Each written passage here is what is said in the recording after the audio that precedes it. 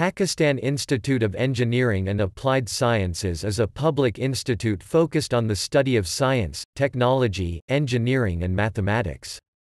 It is located in Islamabad, Pakistan, founded in 1967 as Reactor School in response to increasing industrialization of Pakistan. The institute started its educational activities with the affiliation of Quaid-e-Azam University and became Center for Nuclear Studies in 1976. The institute gained its new name and became independent in 1997. In 2000, PIEAS was granted the status of a degree-awarding institute.